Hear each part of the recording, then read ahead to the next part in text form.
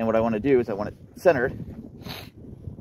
And I want to make sure this, wherever I mark this center hole is in sheet metal. So run the Sharpie around the outside. That'll give me the center of that hole. Now we want to drill a small hole there to mark it for the next step. But we, so we want to use a hole smaller than our arbor for our hole saw. And then drill this out. Or the heater put back on the wall of the RV. Now I gotta mark this hole into the wall. Fortunately, the impact driver won't fit in there. So what we're gonna do, stick the drill bit in, turn it by hand a few times. Hopefully that'll scratch up the wall. Yep, right there's our little scratch.